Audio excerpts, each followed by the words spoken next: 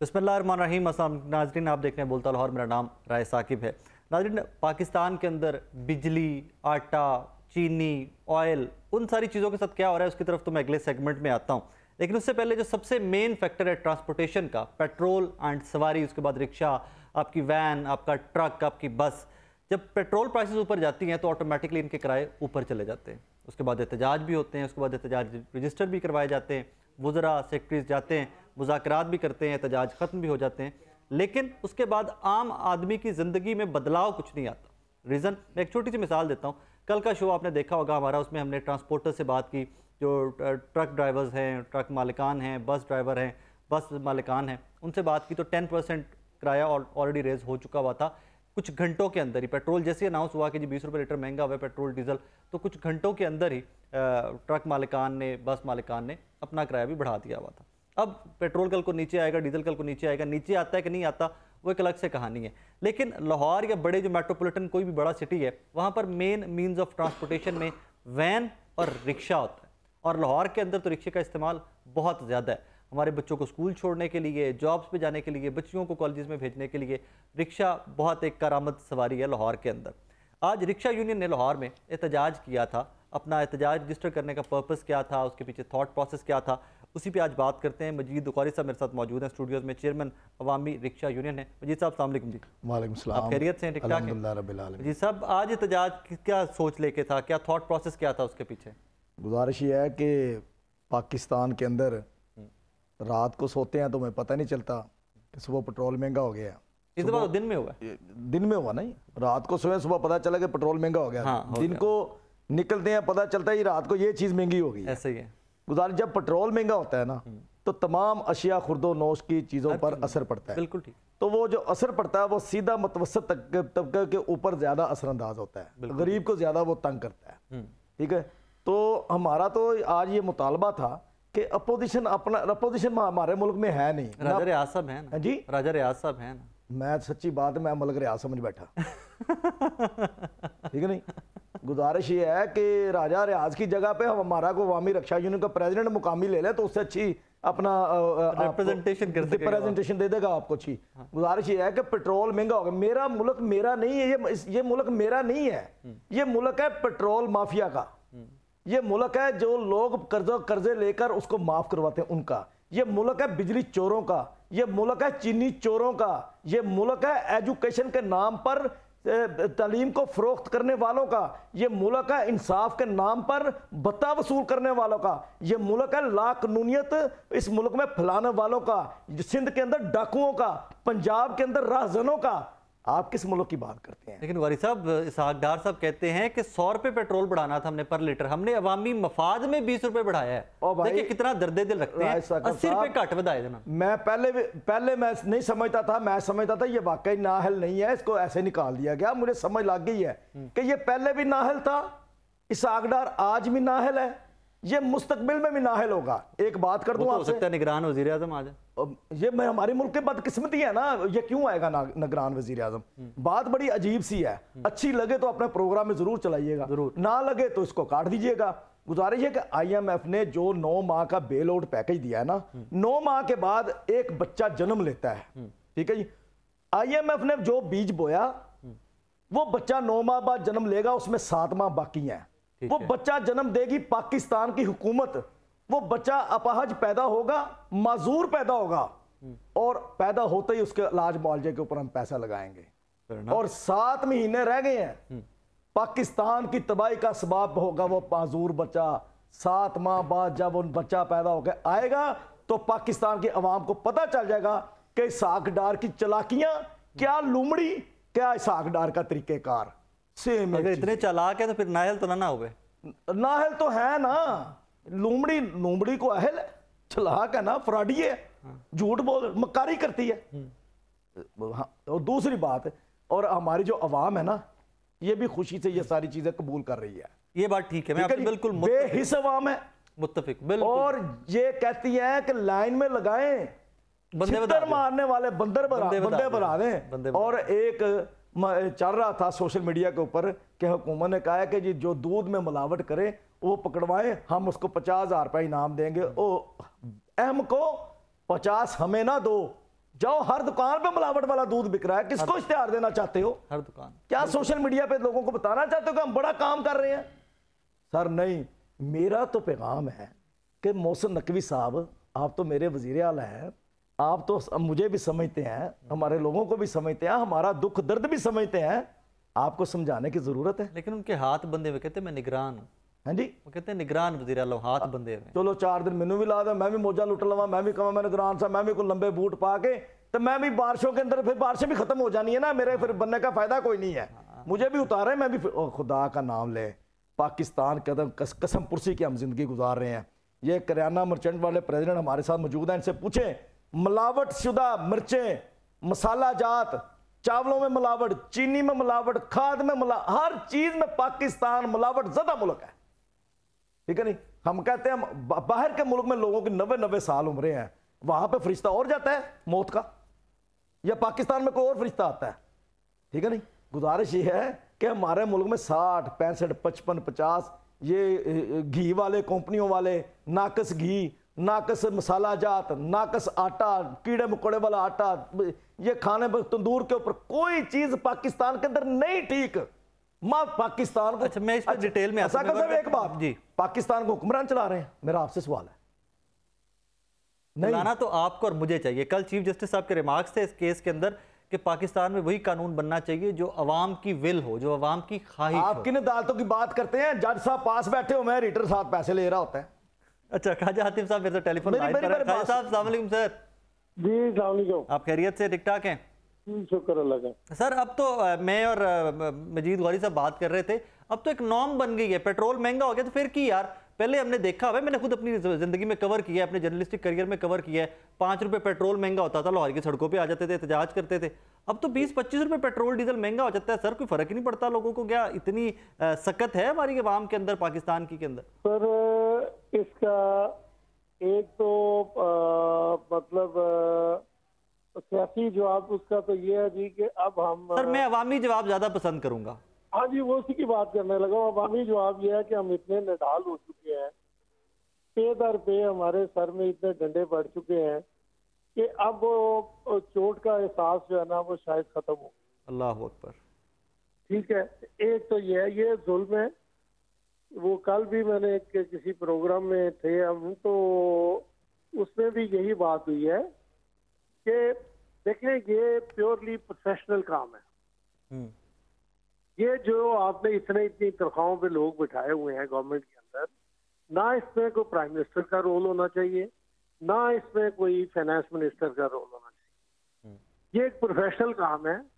जब पेट्रोल सस्ता होता है तो हमें उसको डायरेक्ट रिलीफ आवाम को देना चाहिए। मार्केट में महँगा होता है अकॉर्डिंगली आप महँगा कर हम्म। हमने पेट्रोल को अनफॉर्चुनेटली कमाई का ज़रिया बना दिया। एक एक लीटर के ऊपर हम साठ साठ सत्तर सत्तर सौ सौ रुपया जो है वो टैक्सेस की मद में लेके जा रहे हैं। हम्म। और ये इनको रेडी रेवेन्यू मिल रहा है मिलता है हम एडवांस वो टैक्स जो है वो पे करते हैं जिसमें जीएसटी है बाकी तमाम टैक्सेस हैं और फिर हम इनके कलेक्टर्स हैं। खैर साहब यहीं पे प्लीज़ फरमाइएगा जो रशियन ऑयल आया था उससे बड़ी हमें उम्मीदें थी कि रशियन ऑयल जो आया था बड़ी उम्मीदें थी पाकिस्तानियों को उससे बड़ी कैंपेन भी की गई। गवर्नमेंट की जानब से भी रशिया का ऑयल आ गया भंगड़े डाले गए। तो सर वो रशियन ऑयल आने से भी कोई इफ़ेक्ट नहीं हुआ? नहीं रशियन ऑयल तो देखें अब रशियन ऑयल टोटल आया जी अपना एक लाख टन। हम्म। ठीक है?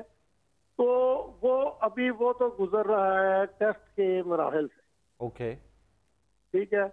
उसमें अभी बहुत से मल्टीपल फैक्टर्स हैं कि इसमें से क्रूड ऑयल कितना निकलेगा हमारी हमारी रिफाइनरीज किस काबिल हैं वो उसमें से क्रूड ऑयल कितना निकालेंगे अगर क्रूड ऑयल ज़्यादा निकलता है तो वो फिर तो बेनिफिट अगर को पंद्रह सोलह डॉलर का जो अपना स्टेट मिनिस्टर साहब ने फरमाया था वो तो खत्म हो गया सर कॉस्ट तो बताइए प्रोडक्ट्स में अगर टॉप सब मैक्सिमम पेट्रोल और डीजल निकलता है हम्म। तो फिर तो हमें को उसका रिलीफ मिलेगा हम्म। तो अगर उसमें से बाई प्रोडक्ट्स के अंदर से डीजल सबसे अपना फर्दर ऑयल ज़्यादा निकलेगा हम्म। तो फिर तो ये वो फ़ायदे की नहीं फिर तो ये नुकसान की फ़ायदा फिर हमें कोई रिलीफ नहीं ओके तो व्हाट नेक्स्ट सर अब कोई कीमतें क्योंकि इंटरनेशनल मार्केट तो डेली फ्लक्चुएट कर रही होती है।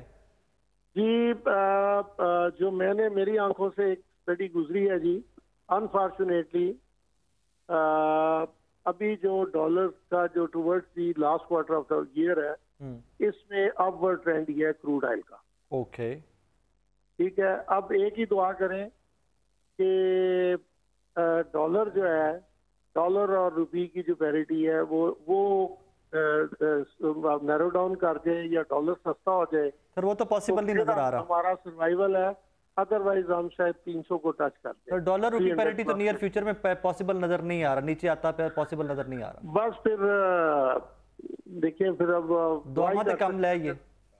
फिर फिर दुआई कर सकते हैं फिर उसके बाद हम क्या करें? चले खैर डॉलर भी ऊपर जाएगा Thank भी ऊपर जाएगा। और ये कहते हैं ना पेट्रोल को इन्होंने आमदन का ज़रिया बना लिया सियासतदानों ने सियासत को आमदन का ज़रिया बनाया हुआ है। हाँ पुराना चला रही है ये बेवकूफ़ बना रहे हैं सब लोगों को।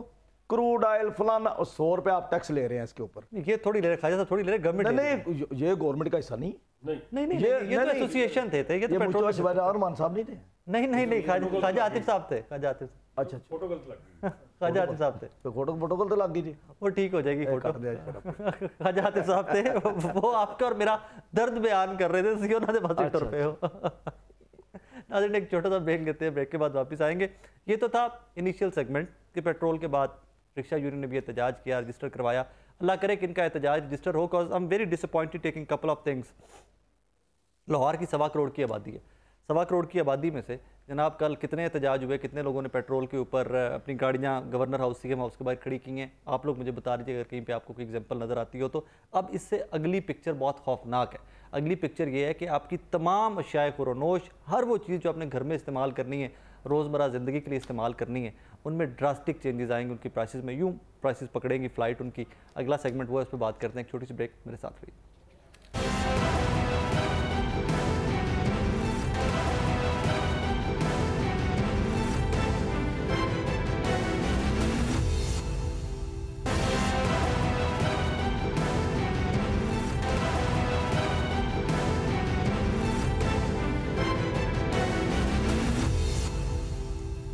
वेलकम बैक नाजरीन बिफोर इट के मैं अगली स्टोरी की जानी बढ़ूँ मैं थोड़ा सा बैकग्राउंड आपको दे दूँ।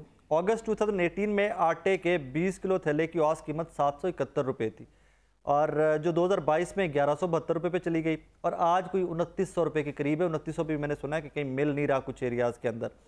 अगस्त 2018 में चीनी की औस कीमत पचपन रुपये थी और अप्रैल 2022 के अंदर ये 86 रुपीस पर केजी पे चली गई थी और आज 155, 150, 160 के करीब लाहौर में चीनी बिक रही है। तहरीक इंसाफ की हुकूमत जब बनी है 2018 में तो तब डॉलर वाज लाइक 124 रुपीज़ एक सौ चौबीस पच्चीस रुपये के करीब डॉलर था और अ, 2022 के अंदर डॉलर 186 प्लस जा चुका हुआ था।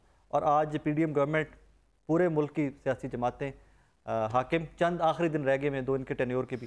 292 प्लस माइनस के ऊपर डॉलर इस टाइम पे फ्लक्चुएट कर रहा है। पीटीआई के दौर के अंदर बॉयलर चिकन जो है, एक सौ से बढ़कर 267 पे गया था और आज के जो रेट्स मेरे सामने पड़े हुए हैं 600 प्लस माइनस बॉयलर का रेट है पर केजी इस तरह खुला दूध जो है, वो एक रुपये से बढ़ के दो सौ एक हंड्रेड एट्टी टू हंड्रेड पे गया हुआ है। You name it and you have it कोई भी चीज़, किसी एक चीज़ का नाम ले लीजिए।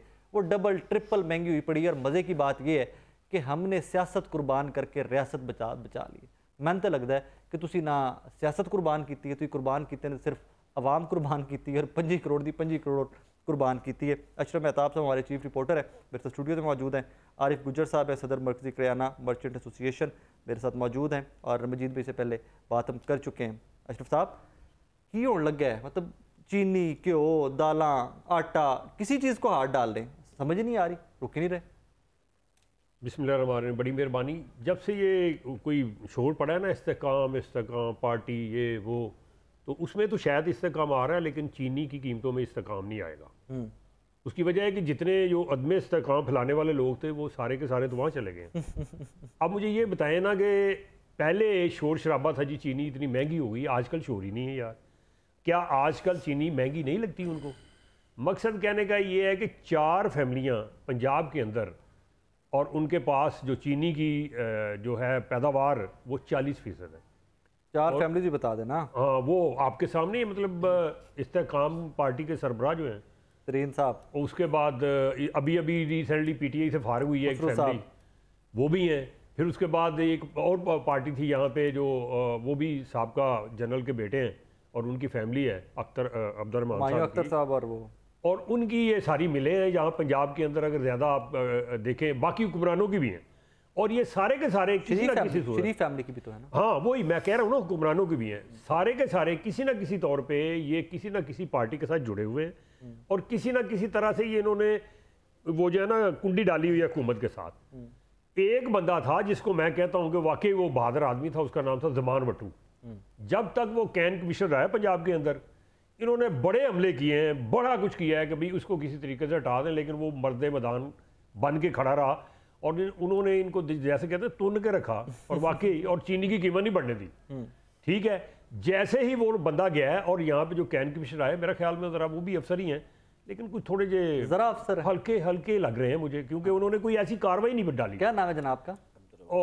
और मकसद कहने का ये है कि ये जितने माफियाज हैं इस वक्त जो है वो चीनी स्मगल भी हो रही है जो जराए बता रहे हैं और जो इस वक्त मिडल मैन है जो ख़ास तौर पे जो वहाँ इनसे लेते हैं चीनी और मंडी में ला के बेचते हैं वो सारे शामिल है। और इसके अंदर थोड़ा नहीं एक महीने के अंदर चीनी की कीमत में पचास पे इजाफा हुआ है एक महीने के अंदर। 98 पे तकरीबन इसको बिचना बिकना चाहिए था जो तकरीबन जो इनके साथ कैलकुलेशन हुई थी। लेकिन आप मुझे बता दें किसी जगह पे ये 110 में भी नहीं बिक रही हो तो मैं जुर्मदार डेढ़ सौ के करीब पहुँची हुई। वही ना डेढ़ सौ के ऊपर ही कह लेना उसको। हम्म। तो जब भी इनसे बात करें कहते जी पिछू ही बड़ी महँगी मिली है असी की करिए मिलना तो महँगी उनकी बात ठीक है। अगर एक्शन होता है तो वो दुकानदार पे होता है। जो बेचारा एंड पे आके उसको फरोख्त करता है और उसने चार पाँच या आठ छः सात रुपये कमाने होते हैं उसको पकड़ लेते हैं उसके ऊपर पर्चा भी दे देते हैं उसकी चीनी भी पकड़ लेते हैं। कमिश्नर का काम था। हाँ और वो उसको सीधा जेल में भी डाल देते हैं। मकसद कहने का ये जितना बड़ा माफिया है चाहे वो एलपीजी का हो चाहे वो चीनी का हो चाहे वो घी का हो चाहे वो कोई और आटे वाला हो। अब ये मैं आपको खबर दे रहा हूँ हम्म। कि आने वाले दिनों में पाँच रुपए एक रोटी की कीमत में इजाफा होगा। ये लिख ले आप। बीस से पच्चीस में जाएगी और नान की कीमत में भी इतना इजाफा होगा पैंतीस से चालीस जाएगा वो। अल्लाह और आप खुद अंदाज़ा लगा लें वो आटा जो अभी आपने बताया सात सौ कुछ रुपए था चार साल पहले क्या हुआ यार? पूरी दुनिया के अंदर हम हमसाया मुल्क में जाए। हमारे हुक्मरान फ्लोर मिलों की तरफ़ सुन ले हमारे हुक्मरान छोड़े जो हम हमसाया मुल्क है उनमें अभी भी चीनी जो है ढाई सौ से लेकर तीन हज़ार हाँ। रुपए मन सॉरी गंदम जो है पड़ती है। कौन सी ऐसी चीज़ इसके अंदर डाल दी है कि यार ये सीधी उनतालीस सौ पे ले गए और पाँच हज़ार रुपए गुजर साहब तो पूछ रही यार भाई आप लोग तो नहीं सारी महँगी करके बेच रहे स्टॉक अच्छा, उठा लिया ढेर सारा फिर मैं चीनी की बात करूँ। तो मेरा ख्याल है कि शायद आपसे गुस्ताखी हो जाए ना कभी कुरान की या हल्की सी जो कोई निकल आए या इस्लाम के मतलब तो आपको माफ़ी शायद हो सके। लेकिन अदालतों से माफ़ी नहीं होती।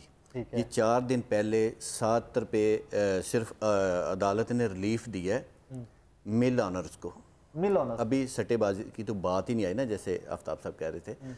वो बात की बात है। मिलों को रिलीफ दिया है आठ दिन के लिए आ, अदालत ने। हम्म। जो अवाम दुश्मन अदालतें मैं कह सकता हूँ अगर ये मुझे माफ़ी दे दें अदालतें तो फिर क्योंकि मैं जाके काम भी करना होता नोटिस होता खबर ही चला सकते हैं हाँ जी मुश्किल से ये बिल्कुल ऐसे ही है मीडिया के पास भी ऐसी कोई चीज़ नहीं है मीडिया ही बाविला कर रहा है और कोई भी नहीं बोल रहा है ना।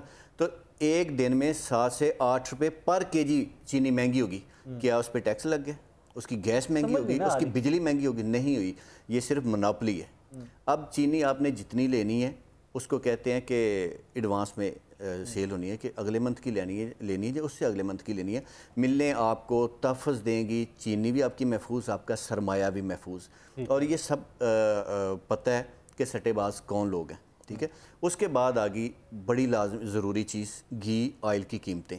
अब तेरह हज़ार तीन सौ रुपया आर बी टी है उसके हिसाब से तीन सौ बावन के करीब घी पड़ता है और दस रुपये अगर बढ़ा लें तो तीन सौ बासठ तीन सौ साठ रुपये ऑयल पड़ता है। ये तीन सौ साठ और सेल कितने का हो गया? छः सौ रुपये तक। दर्जा अव्वल दर्जा दोम की कैटेगरी बना के वो कर रहे हैं। और पहली दफ़ा हुआ है कि हमने गवर्नमेंट के भी गोश गवार किया मीडिया को भी बताया कि जो मिल ऑनर हैं ये माफिया ख़ास करके पंजाब की जो मिलें हैं ना सबसे ज़्यादा करप्ट मिलें ये लाहौर वाली हैं ख़ास करके। जब गवर्नमेंट को रिक्वेस्ट की किसी ने नहीं सुना जब मीडिया को कहा आप भी लाहौर के रहने वाले हैं ना? जी बिल्कुल ऐसे ओके।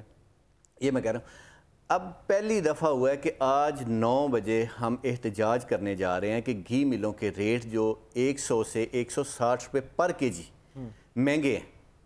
ये आ, कौन आ, वापस करवाएगा? कोई नहीं करवा सकता। इसलिए नहीं करवा सकता कि इनको आप भी लोग कोर्ट क्यों नहीं चले जाते? हैं जी मैं जाते? कोर्ट? बिल्कुल। ये भी कोर्ट गए थे। हम नहीं गए। ये कोर्ट में चला गए। और कोर्ट में जाने के बाद अदालतों ने पाबंद कर दिया कि इनके रेट्स आप इंटरफेयर नहीं कर सकते। ये पंजाब इसने इंडस्ट्री डिपार्टमेंट ने केस किया था। करने वाले ये कहने के अदारे बने हुए हैं ऑफ़ द control, नहीं, ऑन द वो है। बंद करें फिर। ऑन द रिकॉर्ड है। ये ये भी अभी दूसरी पहले चीनी वालों ने तफज ले लिया अभी ताज़ा तो आठ रुपए किलो चीनी महँगी। अच्छा उसके बाद प्ली क्या ली चीनी और अदालत में क्या अपना राय भाई, भाई मुझे बताइए चीनी और अदालत में जाके क्या कहा होगा क्या स्टांस लिया होगा? हाँ। यही बताया होगा हमारी कीमत बढ़ गई है गन्ने की कीमत बढ़ा दी। हालाँकि स्टॉक तो सारा पुराना है यार ऑलरेडी बन चुका है। जब उस वक्त बना था चीनी उस वक्त बिजली की कीमत क्या थी कि अब तो चल नहीं रही ना मिले।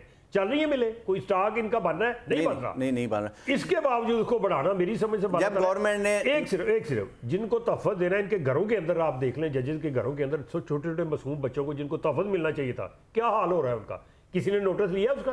कोई नहीं। जमानत पे जमानतें मिल रही है। ये अवाम को दिफा कर रहे हो यार खुदा का कहो करो? गरीब की सुनने वाली बात है उसके कैसे सुनने वाले की बात कर रहे थे अगला नोटिस इन्होंने भी भट्टू साहब की टेलीफोन लाइन आ जाए जी, कोई गल नहीं, बड़े नोटिस आए ने। जी, साहब सलाम अलैकुम जी। जी अस्सलाम वालेकुम। वालेकुम सर खैरियत से आप ठीक ठाक हैं?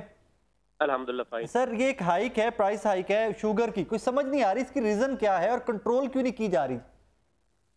जी इसकी दो दो रीजंस जो है मैं वो साइड करना चाहूँगा। नंबर वन नंबर वन तो चीनी जो है वो स्मगल काफ़ी हुई है और उसकी वजह से शॉर्टेज है मुल्क में। नंबर टू इसकी जो डिटर्मन की थी प्राइस फेडरल गवर्नमेंट ने तो उसके अगेंस्ट जो शुगर मिल्स एसोसिएशन है वो हाई कोर्ट में चली गई थी और वहाँ पे उन्होंने स्टे ले लिया था। तो अब जो गवर्नमेंट है वो उस पे प्राइस जो है वो फिक्स नहीं कर सकती क्योंकि जितनी देर तक सब्जुडिस है केस हम्म। और जितनी देर तक इंटरम इंजंक्शन अपनी जगह पे मौजूद है तो हम उसकी प्राइस फिक्स नहीं कर सकते। आपके इल में होगा कि प्रोविंशियल गवर्नमेंट ने तीन चार रोज कबल जो है एक आर्डर प्रोमलगेट किया था नाफिज किया था जिसके तहत प्रोविंशियल गवर्नमेंट जो है उसके केम कमिश्नर इसका उनको इख्तियार दिया गया था कि वो चीनी की कीमत मुकर करे लेकिन वो भी आर्डर जो है वो सस्पेंड हो गया है कोर्ट ने उसको सस्पेंड कर दिया है। तो जब ये अब ये नेक्स्ट डेट पे देखते हैं वो कब निकलती है। तो जब ये केस डॉक्टर साहब श्योर आप तो अपडेटेड होंगे यहाँ पे ये मिलर्स ने प्ली क्या ली कोर्ट में जाकर के? क्यों चीनी महँगी हो रही मिलर्स की प्ली क्या थी? नहीं मिलर मिलर्स ने तो लीगल पॉइंट्स कुछ रेज किए थे जिसपे कोर्ट ने कहा था जी कि ये आप जो है मिलर्स को हेयरिंग दें रिगार्डिंग कास्ट ऑफ़ प्रोडक्शन और fixation of price sugar price लेकिन उसको आप अनाउंस नहीं करेंगे। हम्म तो अभी तक डेट उसकी नहीं आई हमारे पास। अ, लेकिन शुगर मिल्स ने जो है ना वो बाइकाट किया है जो कास्ट ऑफ़ प्रोडक्शन हम वर्कआउट कर रहे थे और उसकी कीमत मुतयन करने के लिए जो डेलिब्रेशन हो रही थी। सो व्हाट नेक्स्ट क्या चीनी की प्राइस अब यही रहेगी व्हाट इट इज़ नाउ अब जितनी देर तक कोर्ट ऑर्डर फ़ील्ड में है हम उस पर नोटिफाई नहीं कर सकते प्राइसेस अलबत्ता ये है कि जो होर्डिंग हुई हुई है जो स्पेकुलेटिव बिज़नेस है उसके उसके अगेंस्ट प्रोविंशियल गवर्नमेंट के जो अदारे हैं जो फ़ील्ड ऑफिसर्स हमारे डिप्टी कमिश्नर साहबान हैं फ़ूड के दफातर जो हैं वो उसके खिलाफ कार्रवाई कर रहे हैं। डॉक्टर साहब लेकिन जब आपने फरमाया कि स्मगलिंग बहुत हुई है चीनी की स्मगल बहुत हुई है तो सर वो भी गवर्नमेंट का काम था ना रोकना स्मगलिंग भी तो? अ, बस ये इन्होंने समहाउ वो चीज़ें जो है वो उस पर चूँकि हमारा बॉर्डर बड़ा पोरस है तो कंट्रोल नहीं की जा सकती चलें thank you very much Bhutt साहब thank you so very much Ashraf साहब दो वजूहत सिंपल सी। एक तो मिलर्स कि उनका वो गठजोड़ या उनकी कह लीजिए ताकत इतनी है। नंबर टू आपकी स्मगलिंग।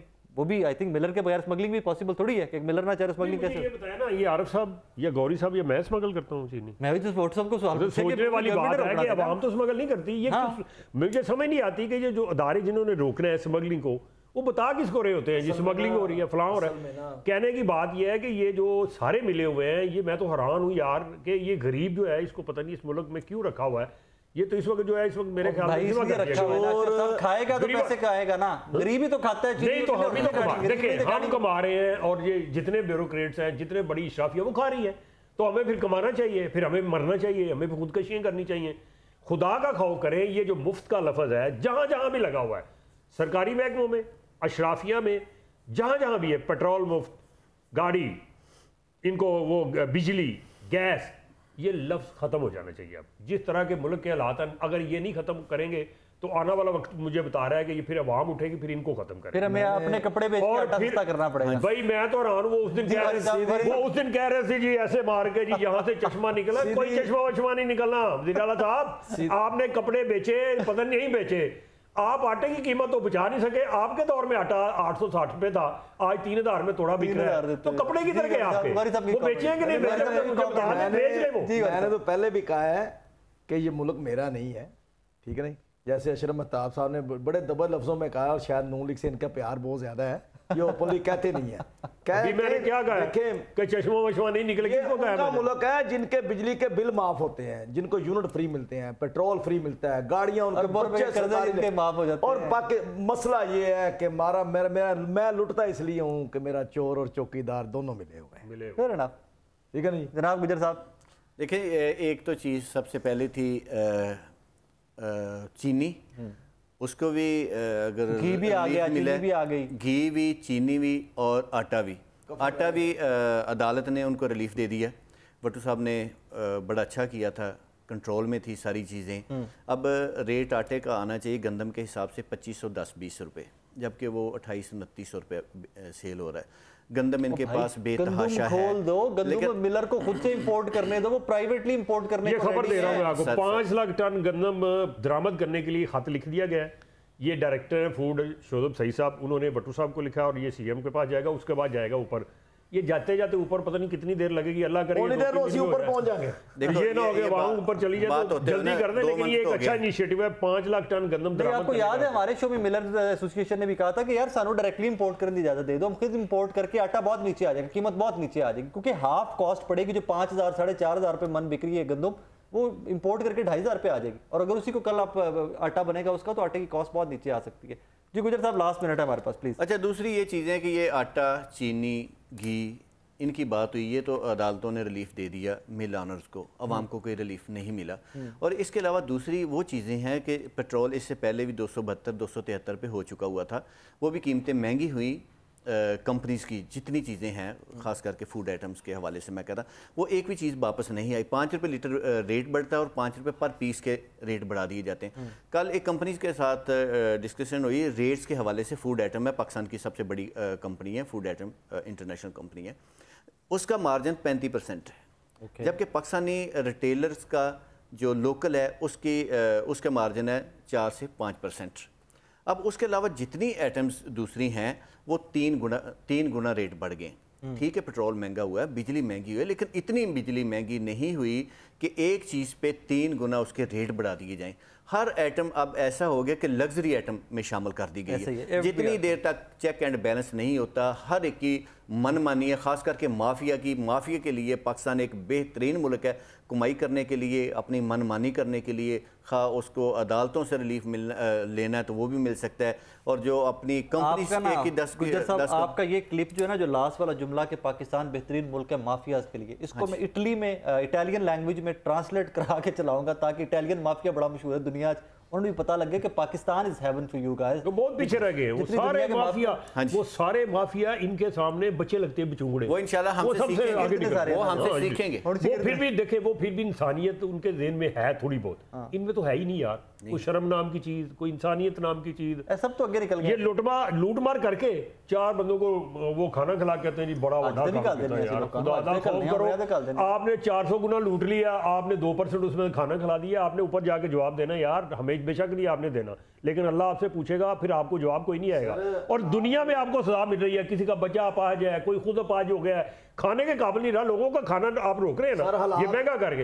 अल्लाह ने इतनी पाबंदी लाई ऐसी ऐसी बीमारियाँ लगा दी हैं कि आप दो रुपए रो- रोटी नहीं सही खाते तो ये सारी चीज़ें हालात इतने बुरे हैं कि सच्ची बात है मजदूर मेहनत कश रक्षा ड्राइवर कारपेंटर एक वक्त की रोटी बनाते हैं और यकीन मान जाए दूसरे वक्त की बंदी नहीं, नहीं तीसरी वक्त की उनकी फ़िक्र होती है। नहीं पूरी पड़ रही और ये मेरा एक मशवरा कि हुकूमत ने जाते जाते अवाम को रिलीफ देना था मगर उन्होंने दे दिया ना पेट्रोल, पेट्रोल बम दिया यही। महँगाई का बम दिया और मेरा एक मशवरा है। जी। मनारे पाकिस्तान के करीब हर बड़े शहर में एक इज्तमाही कब्रें खोदें और इस अवाम को जिंदा दरगोर कर दें मसला खत्म रशियन तेल आया ऊपर डाला लोगों ने बस आवाज रशिया ने ना साडा कोई मामला आग लगाने वाली। नहीं ਅਸੀਂ ਉਹਨਾਂ ਤੋਂ ਰਾਜ਼ੀ ਹੋ ਸਾਡੇ ਤੋਂ ਰਾਜ਼ੀ नाज़रीन, साडा एक कोई छोटा लेना सा ब्रेक ब्रेक के बाद आपको एक नेशनल हीरो से मिलवाएंगे जिसके साथ अ, जो हुआ वो तो कहानी एक अलग से है कि पूरी दुनिया के अंदर वो जाके पाकिस्तान को रिप्रेजेंट करके आया है और रात को एहसन के साथ हुआ क्या है वो खुद ही अपने ज़ुबानी बताएंगे एक छोटा सा ब्रेक मेरे साथ रहिए